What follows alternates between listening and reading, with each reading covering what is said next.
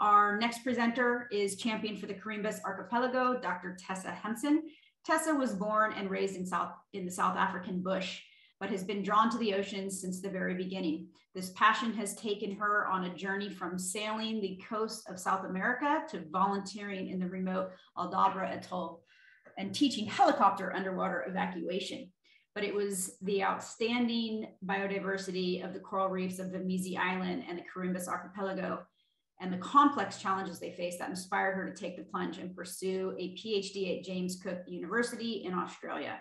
Equipped with the tools to have an impact in marine conservation in Africa, she returned to her roots to take up the reins as program manager and principal scientist for Oceans Without Borders and complete the circle to proudly serve alongside Dr. Mark Zimbeki and HopeSpot as HopeSpot champion for the remarkable Quirimbas Archipelago HopeSpot in the far northern Mozambique.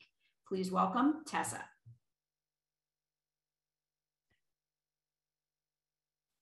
Good evening, or just hi, everybody. I know we're very international this evening. Um, let me get the share screen going.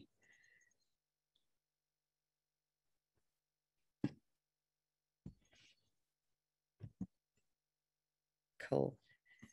Is that working? Everyone can see that. Yep, looks good. All good, great.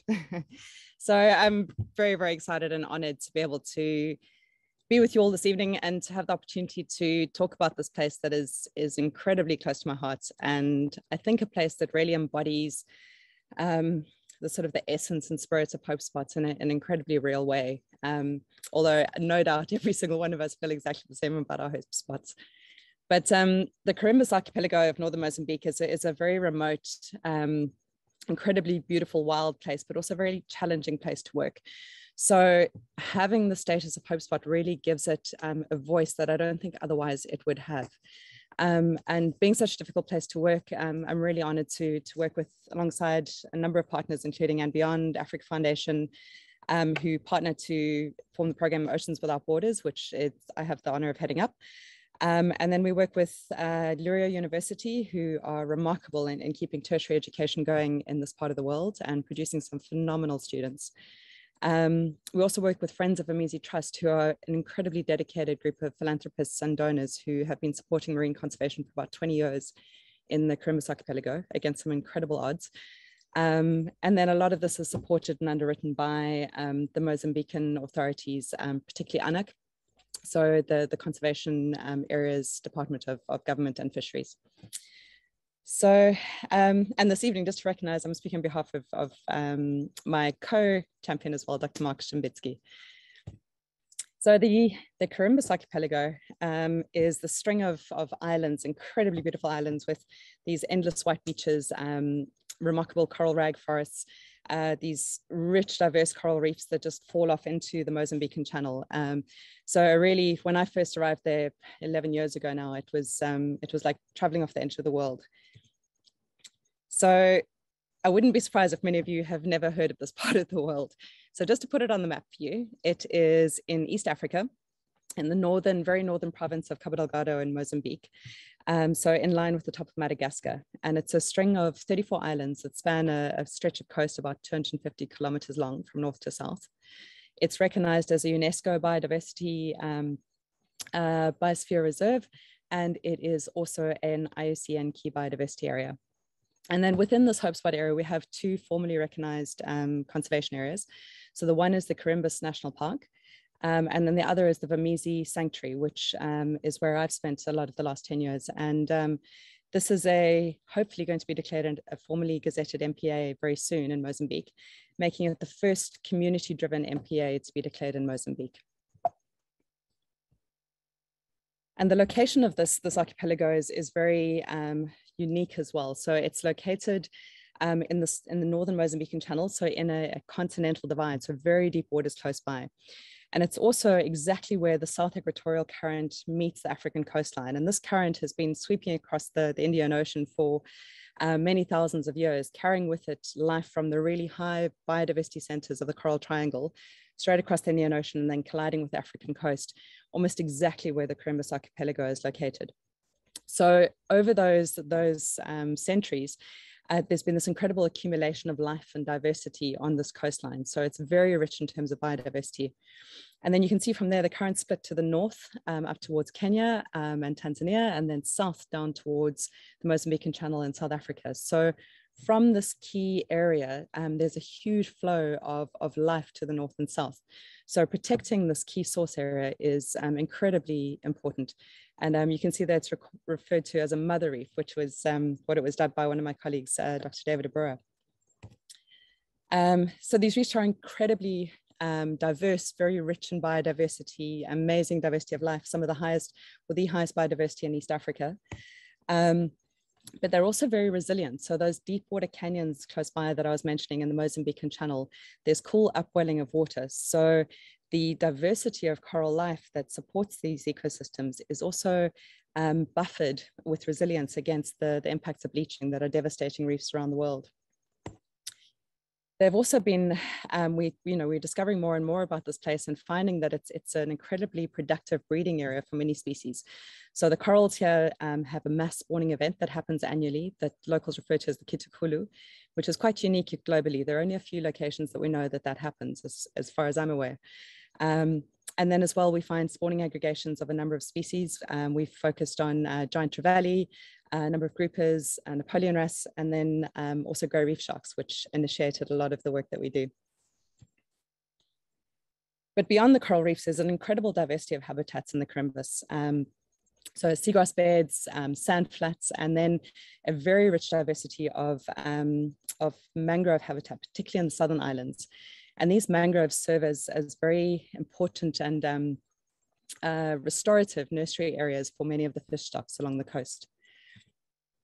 And these fish stocks are critical to, to the local population. The, the communities of the Quirimbas and, and um, Cabo Delgado are very, um, very directly connected to the marine ecosystems. Um, Cabo Delgado province is the poorest province in Mozambique, which is one of the poorest countries in the world.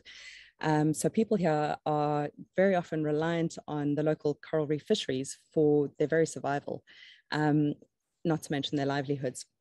They have very traditional fishing techniques. You can see they use old dhows, um, which is incredibly beautiful, but a, a very um, hand-to-mouth direct existence.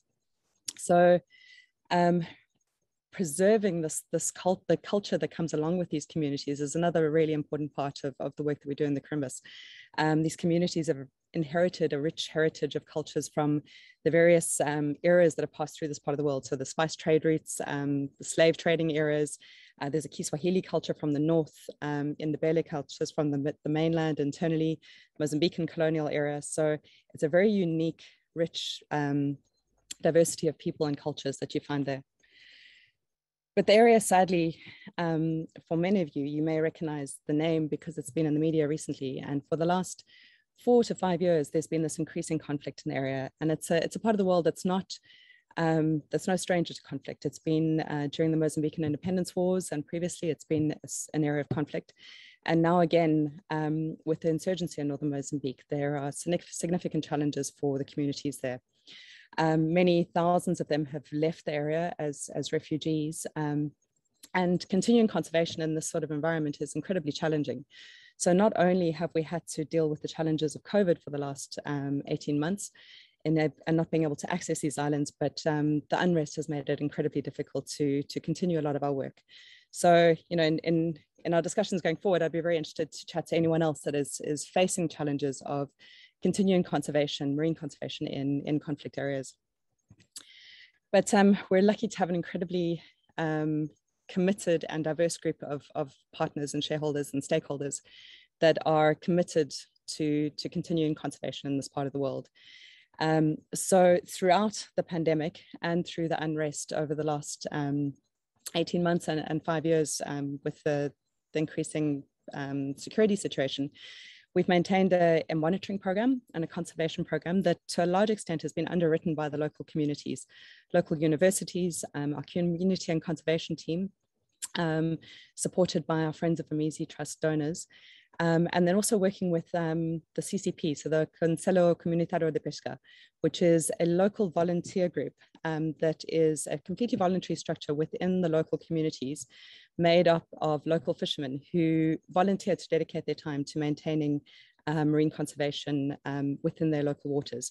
And they are actually the, the group that has nominated the Vamizi Sanctuary Area and put it forward as a marine protected area to be gazetted nationally in Mozambique. So with this amazing team, they also one of the real star flagship programs is um, a 20-year data uh, turtle monitoring program that's been on Vamizi. So one of the longest running um, turtle programs in the Western Indian Ocean and um, almost entirely community driven um, with donor funding. We've also partnered with uh, local universities and international institutions to establish some uh, really groundbreaking research programs in the area and maintain this infrastructure throughout. So we have um, a network of underwater hydrophones to look at ocean soundscapes. And we also have an apex uh, predator tracking program, which was initiated in 2014. So looking at where um, apex predators move in these remote areas uh, so that we can find out where are the key habitat areas that um, these species rely on. And by focusing limited resources that are particularly limited in this part of the world, we can really target those limited resources to have maximum impact for marine conservation. And I think that's all we have time for this evening, but I just want to say thank you so much to, to all of the people that are, are so dedicated to working in this area. Um, it really is, is humbling and inspiring to, to work with such passionate conservationists. Um, thank you to Mission Blue and to HopeSpots for recognizing us, literally putting us on the map. And um, also to the um, to uh, Mark Shimbitsky, so my, my co-champion on this HopeSpot. A lot of these beautiful images that you've seen this evening are, are his work um, and he's, he's an incredible voice for um, marine conservation for the Quirimbas. Thank you very much. Thank you so much, Tessa.